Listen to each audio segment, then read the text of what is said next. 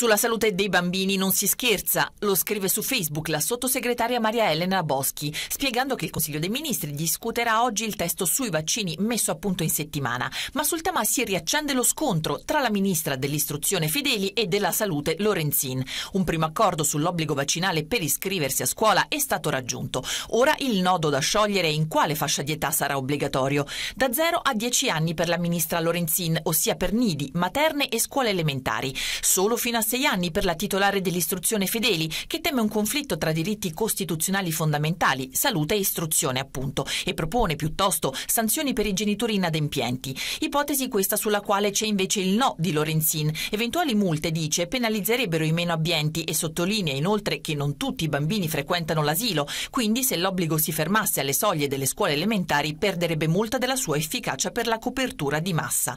Accordo dunque ancora da raggiungere sul decreto atteso in Consiglio dei Ministri ministri, mentre sostengono il principio di reintroduzione dell'obbligo vaccinale società scientifica, ordine dei medici, istituto e Consiglio superiore di sanità, tanto più a fronte di un richiamo dell'Organizzazione Mondiale della Sanità. In Italia e Romania, scrive l'OMS, il record negativo di morbillo con quasi la metà del totale dei casi in Europa.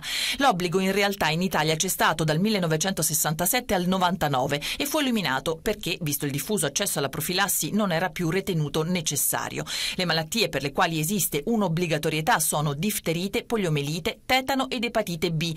Tutti gli altri sono vaccini cosiddetti raccomandati, anche se la loro utilità è fuori dubbio, visto che tra questi c'è proprio quello contro il morbillo, tornato a colpire prepotentemente nel nostro paese.